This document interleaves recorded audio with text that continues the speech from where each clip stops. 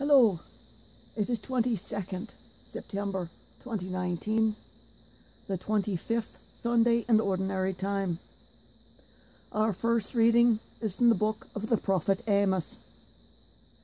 Hear this, you who trample upon the needy and destroy the poor of the land. When will the new moon be over, you ask, that we may sell our grain, and the Sabbath that we may display the wheat.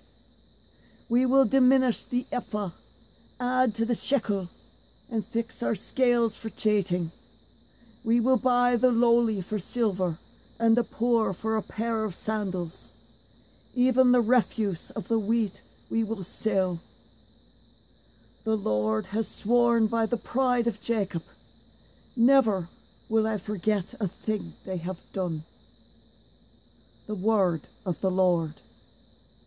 Thanks be to God.